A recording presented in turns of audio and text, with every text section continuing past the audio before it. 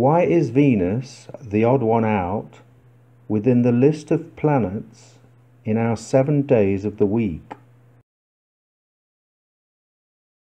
If we take the average distance of each planet from the Earth, ignoring the Sun, we find the only odd planet in our ancient sequence is Venus, which is positioned on Friday between Jupiter and Saturn.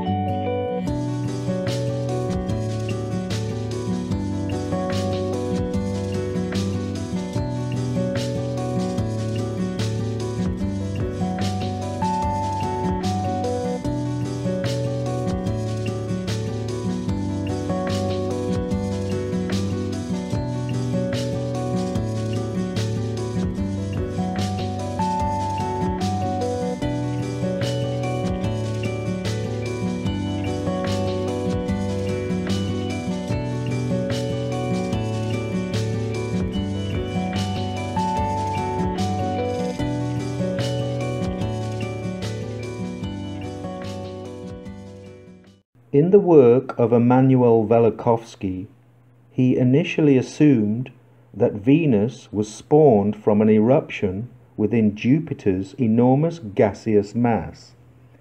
But scientists now believe Venus was pulled in from outside of our solar system around 2500 BC. Is it possible that sometime in our ancient past Venus had an orbit between Jupiter and Saturn, reflecting the sequence found in our historical days of the week.